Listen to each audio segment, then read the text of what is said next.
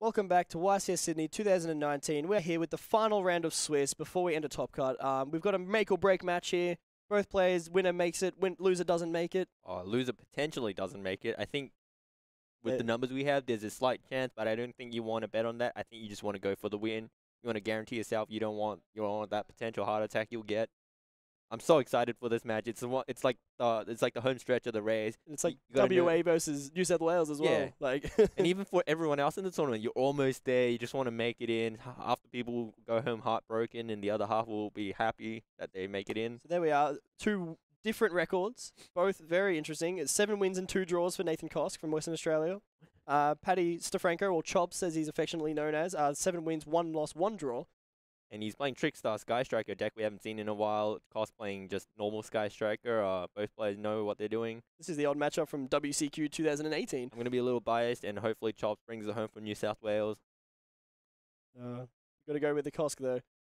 Uh, fair, fair. He's come a long way. He's come from Perth, about five hours away, other Yeah, sure- side. surely he gets it because of just travel, right? Get some sort of Yeah. advantage. But we see Chop starting with the Pot of Desires, the draw two. It's a card we've seen a lot today. Uh, he's banished no monsters, so I think that's pretty good. He banished the Scapegoat. Uh, what's Scapegoat at right now? Scapegoat. Scapegoat's at two, so losing one of those is potentially harmful. But uh, now summoning the Candina, which I think he just drew off the Desires. He he did lose his uh he did lose one of his reincarnations though. He's getting a Lycoris. I can see on his deck list he only plays two Lycoris. Is he playing? How how many uh, reincarnations is he playing? Two or three? He's playing two reincarnations, so he lost one of those as well.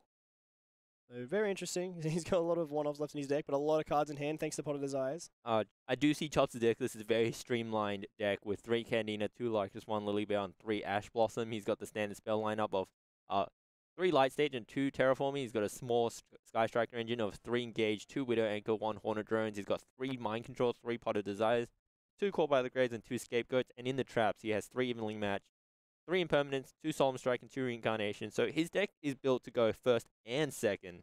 Which is good and bad sometimes. If you go first and draw, you're going second cards. It gets a bit awkward, but it also uh, helps a lot when you lose dice rolls and you have to go second. Uh, so we see a lot of spells in Nathan Kosc's hand after Chops has set two spell and traps after summoning his Lycoris to the field. So now every time uh, Nathan decides to add a card from his deck to hand, either by drawing or a effect that adds a card, he will take 200 damage from Lycoris and a further 200 from the light stage. This makes it choppy for Nathan Koss. He has to decide which spells are important enough for him to take 400 because they do add up over time. It does become a lot of damage, like unbelievably quick, and it, and it might just give them enough damage. It might put you in a range where they can just comfortably attack you in one turn to end the game, And with, or car- and with cards like Lilybell in the deck as well, you can attack directly through anything as Yeah. well. or they don't even have to attack you for game. They just have to leave you on a low enough life point where the Lycoris next turn will just be able to burn you when you're trying to play. I think I just saw a mind control in Nathan's hand, which he's going to set to potentially play around a reincarnation just in case Chops has one. I think he is playing Another well into the reincarnation, which is usually played in unison with Droll and Lockbird to be able to take out their whole hand. But what we do see is that Chops has evaluated that Droll and Lockbird was not good enough to play in his deck to not play it at all. So he didn't even play the drawn lockbird, so Nathan potentially playing around something that's not even there. But the mind games is huge because they're going to play around it anyway. They have to. Of course, and obviously this is what we're seeing Nathan do now, setting his whole hand before starting to activate cards, and he leads with terraforming. Ideally, he also just wants to set his hand because he likes those cards and doesn't want a new hand from reincarnation. He might want to keep his hand and not lose the hand to something that's not as good. So he does have two copies of mind control in his main deck, and he has drawn both of them, which are set. So he would probably uh, the only reason he wouldn't do it now is because uh, he does have engage as well. Yep. And he wouldn't want to have a monster in his main monster zone. So this is why getting the field spell is really good. Uh, he'll be able to potentially get that Lycoris off the field. Yep. Uh, but uh, to minimize risk, he may want to engage and add a Multirole as a backup plan. Yep. But he's obviously thinking up these options now. So he he set cards there: uh, two mind control, one engage, and one unknown at this point. He also still has that Metal Foes Fusion in the graveyard, which allow him to draw a card. So with three spells in grave now, he activates that Sky Striker Engage and quickly hit by the Ash Blossom. Ash Blossom enjoys spring. So now uh, Nathan will have to think again how he pro- approaches this with, again, two mind control sets still. You know what his last card set is? Uh, still an unknown to me. Uh, Nathan does have the Metal Foes Fusion in his graveyard. He can return that to the deck for an extra draw. Hopefully, he won't draw into the Metal Foes Fusion again. But uh, yeah, I think he's n- he, he probably needs to draw, try and draw a monster or use uh, Area Zero to try and get to a card so he can start playing. He does elect to go for the Metal Foes Fusion to shuffle that back in the deck. I think he wants to save the, the area zero for if he decides to mind control the Lycoris so he can get it off the field. Yes, that, that that is also a line of play. We also noticed Kosc has already lost 10% of his life points just by playing cards that he would normally play anyway. And he's going to take another 400 here. And, uh, well, Chops doesn't really have to do much, and he's taking his opponent down one by one. Yeah, Two he has life points at a time, and he's a Candina in his hand for his next turn as well, although it will probably get... Oh no, it's not Widow Anchor, it's just Mind Control. it, it, it could be a Widow Anchor, the last card, which I'm still not sure. But he Yeah. definitely has two mind control set. Based on what Kosc is doing, I don't think he's drawn into a monster. So th- there's the mind control play. So he'll probably try to use area zero now. There it is. Um, Chops just allowing There's it to a go Twin through. Twister, an Ash Blossom, and another Twin Twister. Ooh, Whoa. Kosc whiffs that area zero. It's definitely not want something he wants during the last round of Swiss. So now he probably have to find his options here. Depending what that last card is, I don't think he can get this Lycoris off the field. He may be in a, a very difficult position. Yeah, but he, he on the bright side, he does get 1600 points of damage in just a level up the life Uh, he point lead. can't attack because of mind Oh. control. Damn, that is not a Widow Anchor. So, and the other downside as well, he set his cards to play around reincarnation, but that now allows uh, Chops to be able to use his light stage to take those cards out if they're not quick plays. Mm. Oh, and the end phase There scapegoat. is a scapegoat, and Nathan has and accepted that this match is not going anywhere, and he does not want to take up any more time against a deck which does a lot of residual damage. It's another smart move here, as we've talked about over the weekend, with uh, time becoming a new factor into the game now with the new time end of uh, match procedures. Uh, that people may want to end the game quicker like this, uh, Yeah. to because he, he may have been able to stay in the game, Yeah. but may have thought it's not worth to do so. Yeah, it might have taken him a few turns to recover. He might not even win that, and he's just like, no, I, I don't want to deal with this. Uh, Chops has like Trickstar, Candina, Lycoris that can just deal 200 damage without interacting with me, and then uh, it's just not worth it. Okay, so we're going to the side decks now. Um, I assume Nathan will want to be going first. Uh, so any side deck, he actually plays two copies of Inspector Border, which could potentially come in, because Yes. it's actually quite hard for Trickstar to deal with that, the Inspector Border. Uh, we also got the Hercules bases in his side deck, which is interesting. Three copies of Shared Ride, which will most definitely be coming in against Trickstar, which Yep. is a deck that likes to add a lot of cards from the deck to the hand. Oh, on the on the other hand, though, if you shared ride them and they have a, they can get multiple Lycoris on the field, they can potentially just burn you through your own shared ride. That's a double-edged sword there. Definitely another play. So uh, you have to be weighing up the risk if he wants to side that in. Yep. Um, but yeah, I can't see any other cards you'd Yep. really like. Evenly matched is obviously a go second, and um, Ghost Belle is uh, less effective. It can negate the Reincarnation's Yep. Grave effect. Yeah, it can it you can definitely um over here on Chops' side, he's got uh, four PSY-Frames being three gamma one drive. He's got Ghost Reaper and Winter Cherries. I don't see that coming in.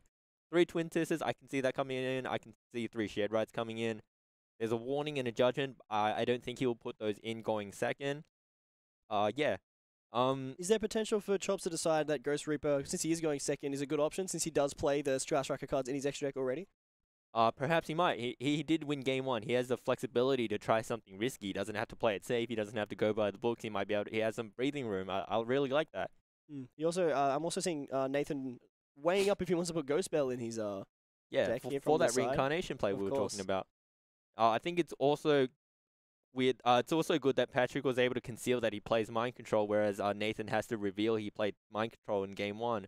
A lot of cards that you see is gonna affect what you side, right? it's it, that is definitely true. And uh, in, in Nathan's uh, main deck, he already has three copies of Twin Twister, so they'll probably stay in anyway. Yeah, and he revealed two off the area zero. So uh, He, he will most likely side the mind controls out since he is going first, um, and it is not as good against Trickstar going second. looking at their faces, you can see Nathan Koss is really concentrating. He doesn't make any mistake. He only has this chance to be able to pull, and he, if he loses this one, he won't get another shot at uh, side decking. Whereas uh, Chops with the focus face, he looks a bit more relaxed. Both both players quite seasoned now. Um, Nathan's played for a very long time with uh, a lot of uh, good results in um, Yeah. yeah. events in the past. Come first in Swiss, almost three times at nationals. He's made second in uh second in national. I, I- I'll actually pull this up. Whereas Chops Chops did top uh one YCS the uh Metal first one. And, and Chops also recently uh, competed at the GG, the Good Games uh, Nationals. Yeah. Um, where he won the state championships for New South Wales. So technically, he's the New South Wales state champion on that side of the bracket. Yep. Uh, his, his friend Koji did win the feature match as well. So uh, uh, I think if he can channel the strength from his uh friend, And sitting in the same seat too. Very good strategy by Uh, Patrick I believe there. Koji Koji was in the left seat. Oh, Was he not? the? Dinomist Oh, player. yes. Um, his name escapes I know me. the Dinomist player. Liam. Leo. Liam. It was Liam Andrews versus uh, Liam. No, Ko- Koji was on the left. He was playing against uh, Lit Bono on the right. oh, you are correct. yeah, Yeah, yeah. sorry, different game. I'm talking. Uh, I was more referring to the Altergeist game that we had previously. So Nathan Koss, 2018 Nationals top 32. I believe he was. Uh, he he did come 20 something in Swiss. He was second in uh, Nationals 2017. He came top eight at the Oceanic World Championship qualifier in 2016, just missing Worlds by two matches. Came top four in Nationals 2016. He uh, topped our first, second, and third YCSs, and then he's topped at least top four or better. Wait, top eight or better at 2010, 2011, 2012, and 2013 Nationals. And Sorry to interrupt there, but he has landed the Inspector Border, as we talked about in his side deck, and set Shared Ride, which he's activating now in response to the light stage. So very strong opening from Nathan Kosc without having to commit too much to the board. He does have an Engage and an Ash Blossom in hand as well as a backup plan. Yep. So Chops will be really uh, worried about seeing that opening from Nathan there. Definitely. So he, he couldn't even Ash Blossom the Shared Ride if he had it. I'm not sure if he does. Uh, but yeah, so Nathan's going to get able to draw another free card here, and then potentially either end uh, Patrick's turn, or Chops will have to play into it and give him even more cards. The And- struggle with uh, Inspector Border is that it has 2,000 attack points, and Trickstar just don't have ways to be able to attack over that. They'll need to access the extra deck to be able to attack over it.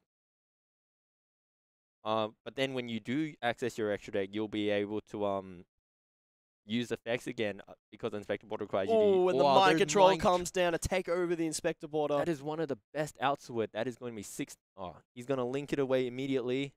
He's going to make a link play now. So Nathan, uh, without overcommitting, has given himself still a chance uh, to be able to play in this game by having the engage in hand and an Ash Blossom, but very, very strong by Chops there, having the mind control, being able to use the full effect to out the Inspector Border. Yep. Now he's making uh, accessing the deck for link play, most likely just to get the Inspector Border off the field. So he summons the Knightmare Phoenix and uh, hits for 1900 damage directly.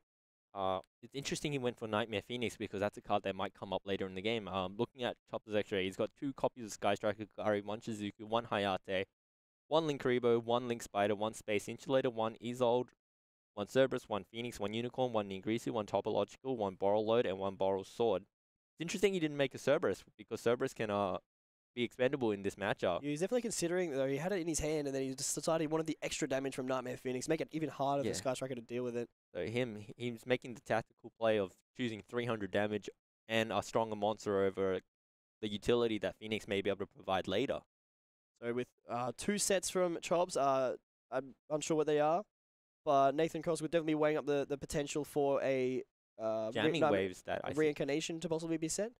Indeed, he has. I see a jamming waves and afterburners, the engage that we're talking about, the ash blossom, and the widow anchor. He's got five very powerful and unique cards that he can use to be able to pick apart uh, Chops' board. I think between afterburners and jamming waves, he's probably going to be able to clear Chops' whole board and uh, resolve and engage with the draw.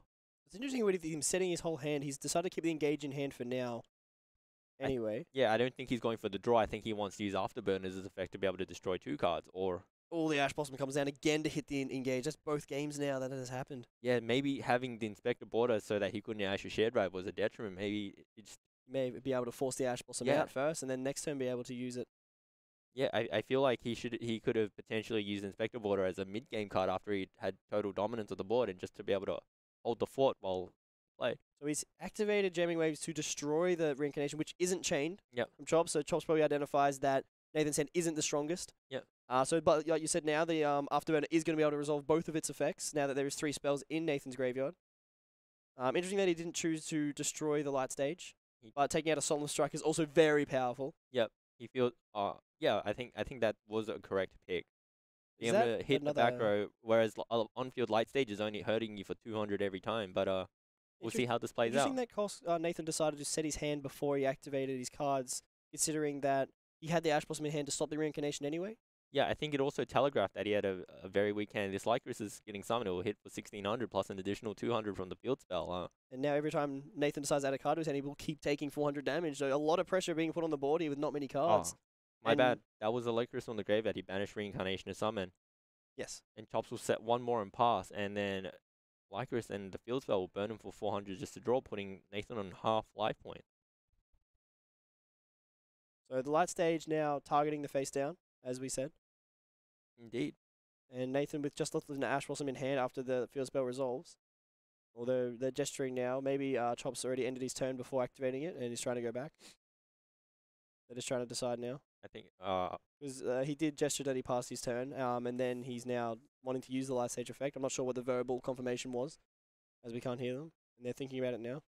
Uh, well, moving on from that, uh, what what what are you excited to see in the top card? Do you do you want to see the Dinomist in the top card? Do you want to see a lot of rogue decks? What do you want to see? Or do you want to see like I do want to see a unique balance of decks, but I also am very interested to see the battle between the top three decks. I really.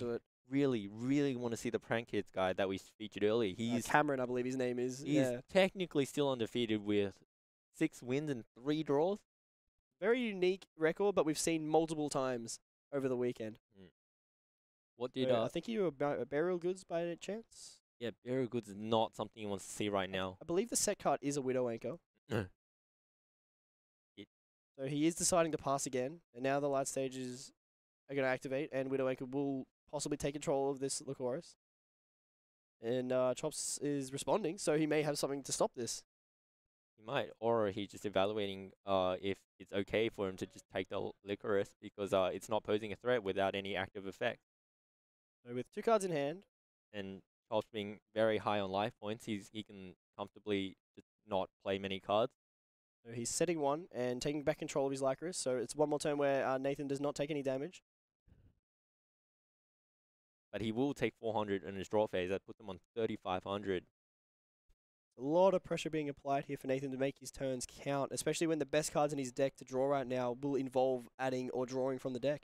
I think a line of play last turn Kosc could have taken was um he could have taken the Lycoris and then summoned the Ash and made a link play, and then he uh wouldn't have gotten the Lycoris back. But he has top decked the Sky Striker mech Engage. Sky Striker maneuver, engage. That's a huge draw because it also draws one card. However, uh, Lycoris will burn for 600 damage. Would, wait, was it? Yeah, it will deal 400 plus 200. I believe it's 800. I believe since the draw and the uh, add are separated, even though they're the same effect, I think it actually resolves Oh. the field spell twice. I'm not 100% sure. I'm sure the judges will sort that out, and then the life points will be fixed accordingly. Oh. Well, uh, that's an interaction that's uh, very niche, but uh, we will uh, hopefully have that resolved and uh, cleared for us. So going for the Raye, Nathan must be feeling at the top of the world, top decking engage when all odds are against him. but he is now taking a lot of life points and uh, getting to the point into this game now. He's leaving himself vulnerable to. Um, confirming something here. I think he's confirming the life. I think Chops, Chops. I think the whole Chops not being able to light stage the anchor does, is coming back to bite him. The results would have been very different if he got in that extra 1800 points of damage last turn. Very true. If that was the case, he'd have less than half of his life points left. So potentially there, uh, Nathan not opting to draw, um, and then I, I think The there card I think he didn't. Probably didn't declare, which is obviously something you have to do.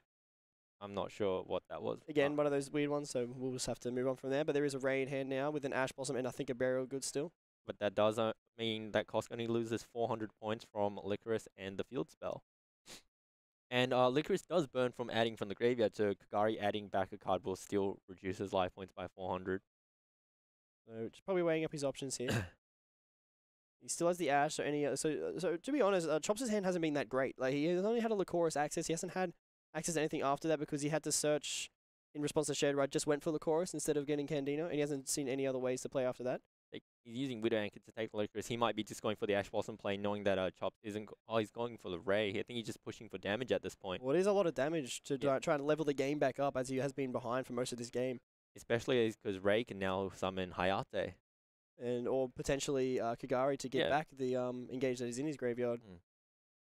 and then a potential link play for a Knightmare Phoenix or something of the sort. Yeah. Just clear out that monster from the main monster zone, make Chops not get the Lycoris back, while at the same time clearing a card.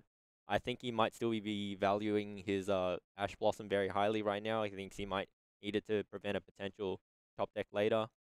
He's going for the Kagari. He's not wasting any time going for Ooh, the and Hayate. Permanence comes down to negate the Kagari's effect to get engaged back in his Oh, hand. That's huge, but now he might be forced to link it away.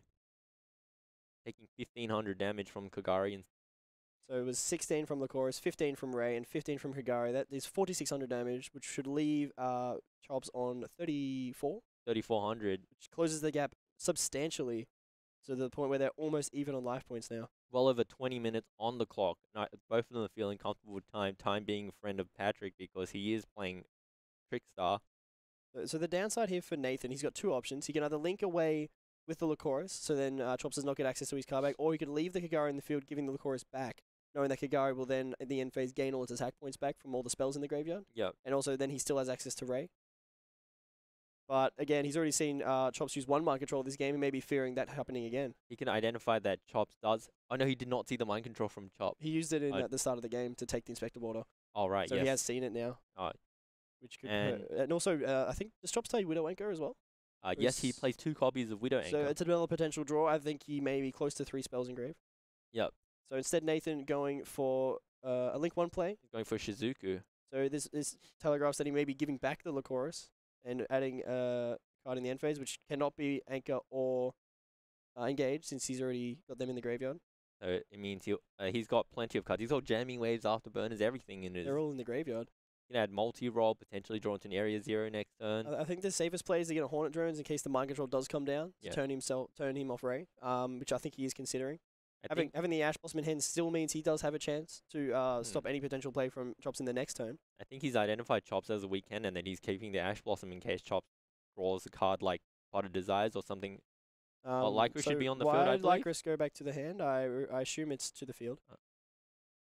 Which is fine. Uh, so luckily they sorted that. And there is oh, the mind there's control. the mind control, huge draw. I think th- I believe this this should. Since uh, he does have Sky Strikers in his extra deck, that will be enough for the game. And well Eh. played to Chops there. Mind control coming in oh, right at the end. There. I wonder if he wonder if he drew that or if he already had that for the whole time. Yeah, Because the whole game Nathan didn't have any monsters on the field, so maybe he was just holding that second mind control. very unfortunate for Nathan Koss. He doesn't look happy. Uh, he might have a chance of making it in with his score of five, uh, seven one two. Which is very awkward considering it's his first loss for the whole weekend. Yeah, it, it it's very unfortunate having only one loss, being the final round, and still like having to pray that he makes it in the top card. He might squeeze in in the 30, like 30, 31, 32, or late 20s. We'll just have to see how he goes. It all depends on how the other matchups went, how many draws there were, how many losses there were. So very interesting game there. The, one of the old matchups from, like I said, the WCQ. Uh, uh, there's a ban list since then, and it's good to see both decks still very powerful. I think it's the first time we've seen Trickstar on stream uh, yes. this weekend, Yes. and, and there will be in the top card at least one representation will be. And we've had a wide assortment of decks on stream today. Oh, uh, this weekend, This yeah. weekend, I think we've had over ten. Yeah, we've had Easily. so many different decks. It's actually great. In, even with Thunder Dragon, we've had three different variants of Thunder Dragon on the stream. We've had uh, vastly different decks. And we, we- should be able to have an interview now with Chops coming through. Yeah. sure. Um, but before that, yeah, like like you said, uh, it's interesting though. All these decks that aren't in the main three decks that we saw represented have been able to still win these games. Like we saw ABC take down Altergeist. We've now seen Trickstar take down Sky Striker. yeah, we've seen we've seen a lot of cool stuff. See man. Dinomist, like he put up, a, like he didn't draw the best hand, but he still put up a good fight against Altergeist. There's another good deck in the, in the format. We've seen Prank Kids take out Sky Striker as well, man. We've seen a lot of Saw the Goki. Rongo deck take down uh, Thunder- Dragon Thunder early Dragon on in the tournament against as well. all odds as Yeah, well. well, that was oh, the man, big game. That, That was, the, one of those one percent games we talked about just before it too. Yeah. Uh, but yeah, very good uh, variety going through, and uh, hopefully we'll be able to get some sort of top 32 breakdown after this Yes. round of like Uh, who's in there and who's out. Yep. We will be doing our homework shortly. Uh, we'll bring in Charles for an interview, and uh, yeah. We'll be back soon.